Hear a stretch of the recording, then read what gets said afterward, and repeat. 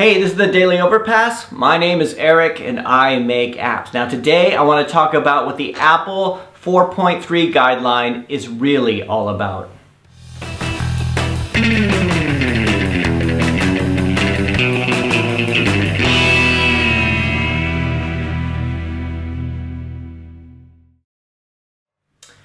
All right, so today I'm a little bit annoyed. But first, let me say thanks to everybody for subscribing and for liking uh, the videos and for commenting. I really appreciate it.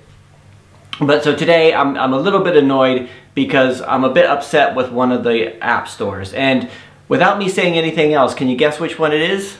It's not Google, it's Apple, right? So I'm having trouble with Apple approvals again. See, back at the end of last year, I was having lots of trouble with the Apple 403, the spam errors and everything that was coming through saying a lot of your apps are similar, you need to combine them into container apps. And I said, okay, I'll do that at some point in the future. I won't, I won't submit anything new. So now if I have a bug or anything like that, I just let it go because, you know, I, I still leave those on the App Store because consolidating all my apps into one application doesn't make sense from a marketing point of view. They don't share the same audiences, they don't share anything the same, but it still was a thing. So I haven't really, and I, someone asked me recently if I'm still having the same problem with that.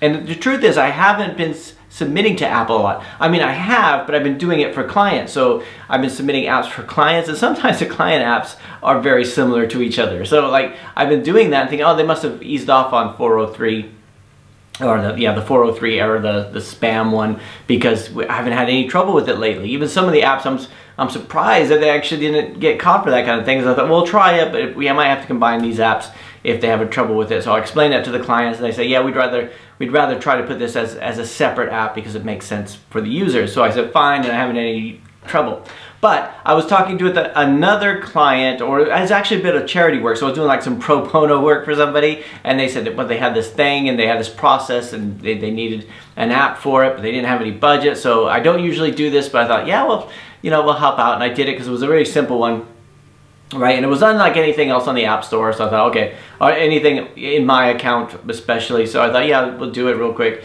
And, you know, spent you know, three or four days on it you know, got everything ready, went through testing and everything like that. Submitted it to the App Store, and guess what I got? 403 error, right? And they said, you know, you're, you have very similar apps. This, this looks like other apps on your account, all this kind of stuff, which was not true, right? There was no, there was none of the same code, none of the same anything, right? It was like, it was unlike anything else on my, on my account, right? And so, so I, I, I raised it to him. I said, hey, this is, I understand what you're saying about the container apps. I have several learn language learning apps which are targeted at different languages. I could consolidate all those into one application if I'm a moron, right? I could do that, and, and I said that I'll do that at some, I tell them I'll do that at some point in the future, but you know, it doesn't make any sense, right? It's, you know, but, so, I'm, so I've been trying to put that off but they rejected the new one saying it looks like the old ones. And I said, no, it does not. Said, I challenge you to find another app on my account that looks anything like this. This one we did for a charity that's nothing, that's nothing to do with any of the applications I have on my store. I said, I think what you're doing is you're penalizing me because I have too many apps on the App Store. Is that the case? And then they, they responded back saying, well, you have several accounts on your, on, uh, several apps on your account that do need to be consolidated, so they're so they're rejecting this one. So they were rejecting an app which had nothing to do with any of the other apps saying they won't approve anything else on the App Store unless I consolidate some of the other applications, right?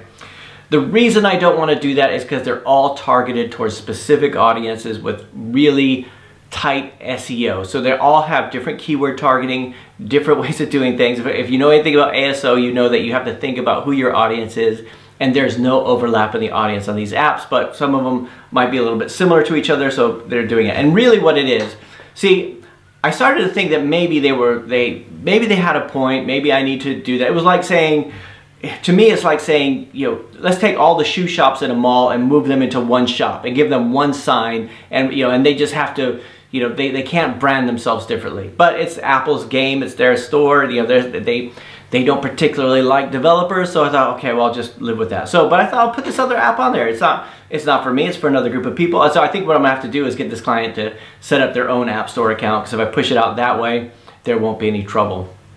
So I'm convinced now, just based on this, that the 403 error has nothing to do with having similar apps on the App Store. It's the amount of apps that you have. So if you're prolific, if you're a prolific app developer, Apple's not the store for you, right? They they don't like prolificy. They don't like someone who puts out lots of things, you know, because they'll just start rejecting things because they say, obviously you're just spamming the App Store, right? They, if you have one or two apps, that's fine.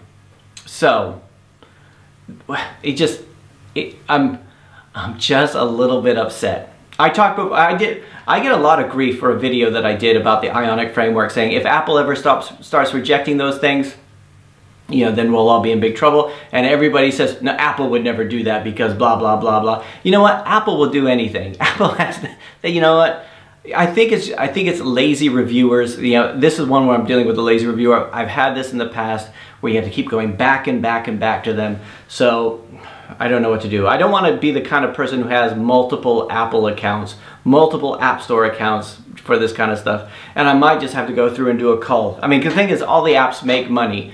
Through Apple, we get a lot more through in-app purchases. I might have one, I might have an app that makes you know two or three dollars a month as opposed to you know a couple hundred, but that's still two or three dollars a month. It's still there's still the potential for that to take off, but now no, I have to go through and do something on that. So you know, I knew that I couldn't do any more language games because you know, they'll say, oh, it's too similar to the other ones. You have other language games even though they're not similar. There's lots of there's lots of variations in the code and the algorithms and all kinds of things and to put everything into one application. I mean, imagine going to a bookstore and you bought a book and you, you, had like, well, let's put all the mystery books into one or all the mystery books by a single author into one book because that makes more sense, right? And he just has to market it however he wants to, right? That's, that's what it's like. So anyway, uh, Apple, you know what? I'm sick of buying Apple products because I need them for the App Store. I am sick of Apple's review process. I am sick of feeling like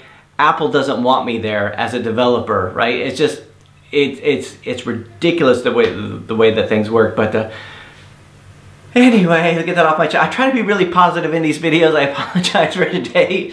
Apple 403 has nothing to do with having similar apps or spamming the market. It has to do with having too many apps. I have clients that have apps that are very similar to each other. We put something out, I think that's gonna get rejected, but they only have like half a dozen, so it's fine. But if there were more than, if it was like, if they had, I don't, I don't even know what the limit is, to be honest with you. I know, I have spoken to people who have gone through and done a major cull of their apps and cut all their apps in half and all that stuff, and that might be something I have to do too. You know, I might have to, you know, despite the fact that people are downloading them, people are leaving good reviews, people are paying for them. I have to go through and limit them because because the reviewer doesn't want to review them. So anyway, for those of you guys who say you only do Android and you don't do Apple, I envy you to a certain point. The reason I stick with Apple and I haven't given up on them is because it's still a lot of money made from that. It's a small percentage of downloads, but about 50% of revenues. Around, it's, it's a lot more revenue. So anyway, that's it today. Sorry for the rant. I'll be a bit more positive tomorrow, I hope. That's it for today. I'll talk to you tomorrow.